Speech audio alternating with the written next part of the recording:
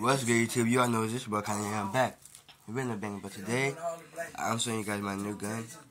It is a type. I'm sorry, guys, you can't see it. It's daytime, but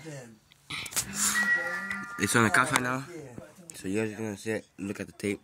So it is a UK Arms M757 6 millimeter CAL gun. I got this yesterday for my birthday. So I did a doodle review, but I'm gonna show you guys why I added tape and what I put on it. So first I, I added red tape because at night you can't really see the gun. You can see the tape. Up.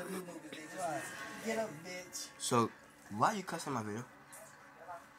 So kids, if, kids, if you guys like I'm playing with guns, like black guns, add red red tape. So if you guys carry it at night, police can see it.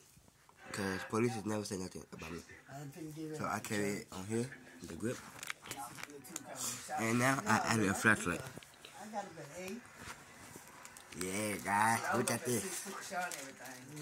And guys, look at this. This is powerful. Y'all seen that, right?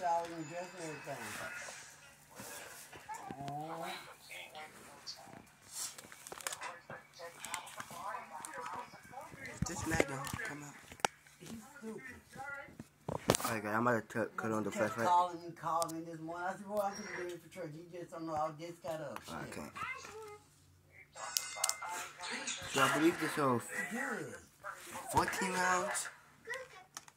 Shit. Them and I would need prayer for any direction on your thing life. You need prayer, period. Yeah, dumb ass.